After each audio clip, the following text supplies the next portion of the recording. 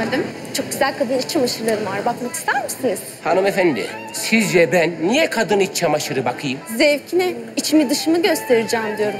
Çok güzel kadın iç çamaşırlarım var. Neyini anlamadın? Bak bu da kopçası. Şeffaf. Abla sen ne ettin ya? Abla deme lazım olur. Hmm.